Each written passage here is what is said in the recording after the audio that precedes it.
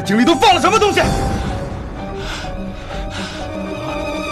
说，带走。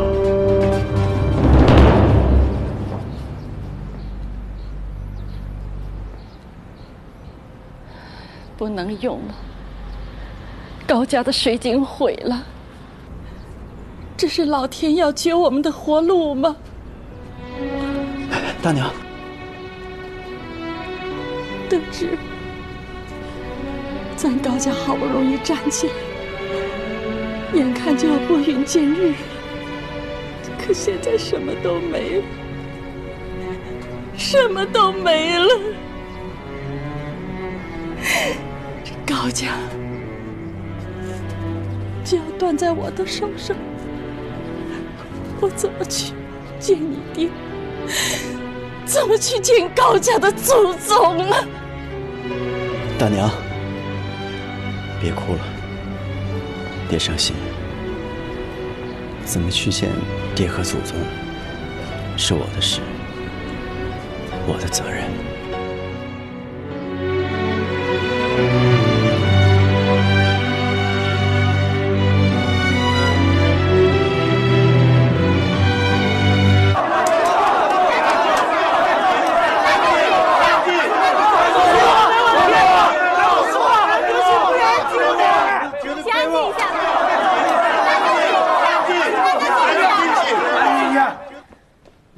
你说你谁呀？我叫高明月，我是高家饼铺的负责人，请大家听我说几句话。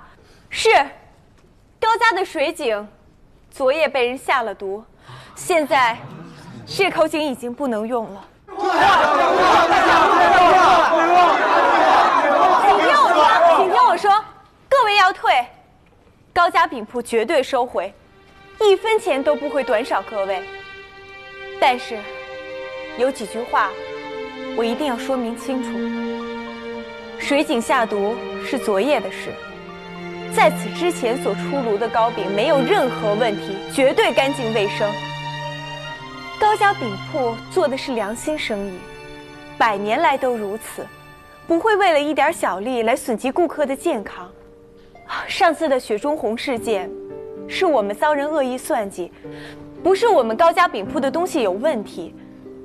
但，因为是我们自己没有警觉心，让人有机可乘，所以受到教训也是应该的。我们不推卸责任，不惜抵押房产，也要坚持为每一位顾客进行赔偿。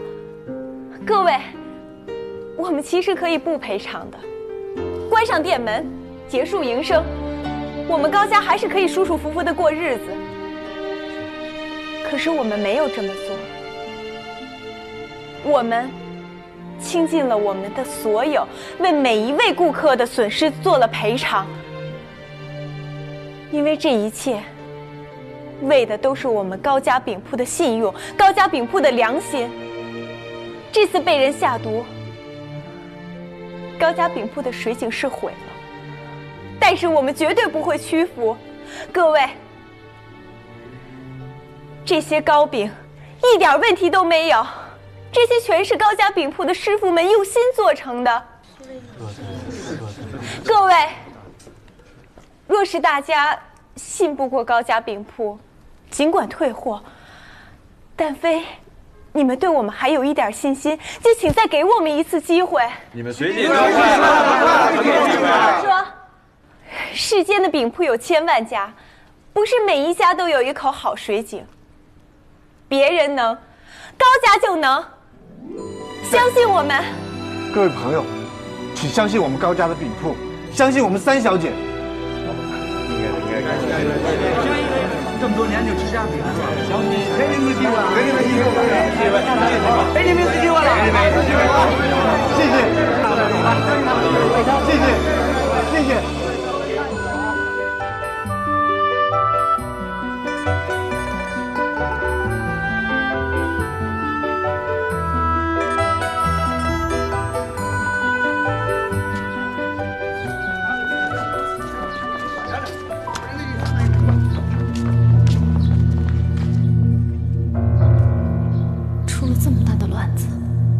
高明玉还是能够撑过去。他真的打不死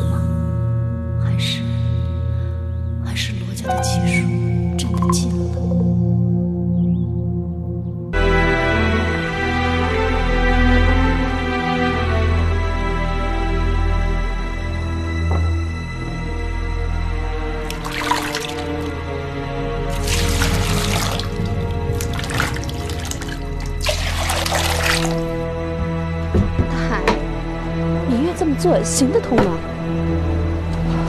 我也不知道，我做了大半辈子高家饼铺的大师傅，从来没有用过高家水井以外的水。这个三小姐胆子是不小啊！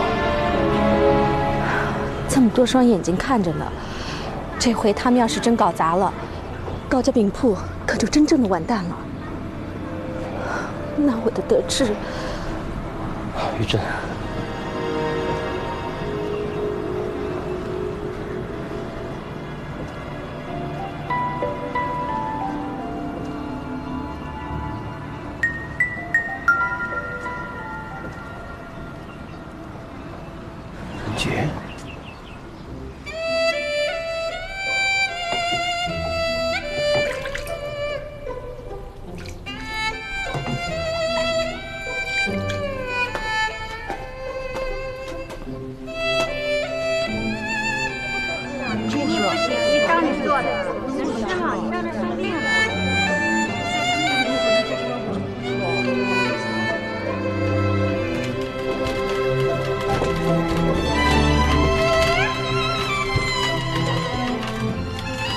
位乡亲们，由于场地的限制，锅炉器具不能够全部搬到这儿来，所以今天我们就只做玫瑰糕和煎酥饼。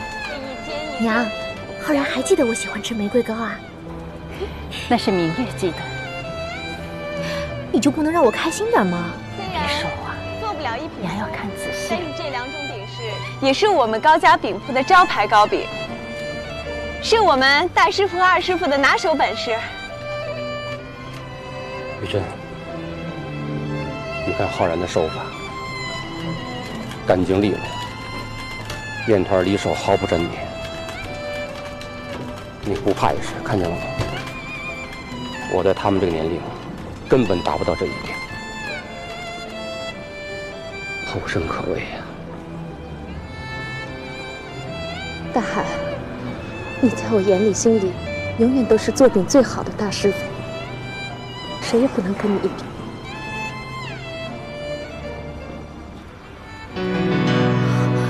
光天化日之下的，还卿卿我我，成何体统啊！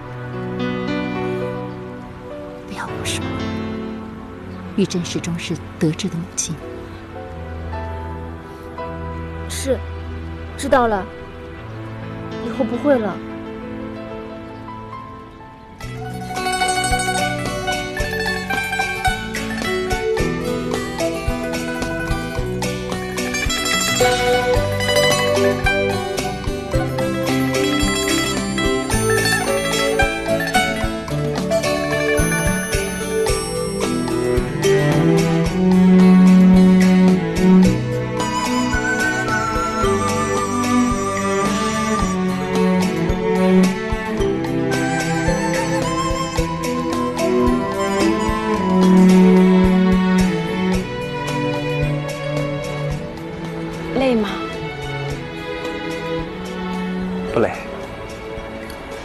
你给我的药茶还挺管用的。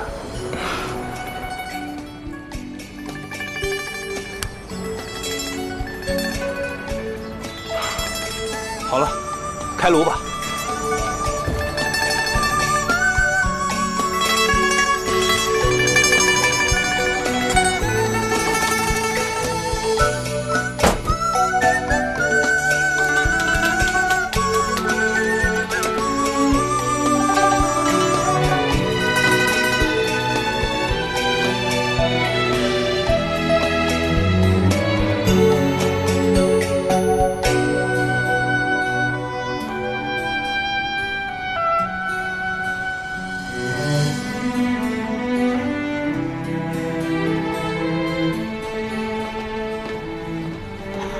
这饼的味道和先前的一点都没有变，好像又多了一种更香的味道。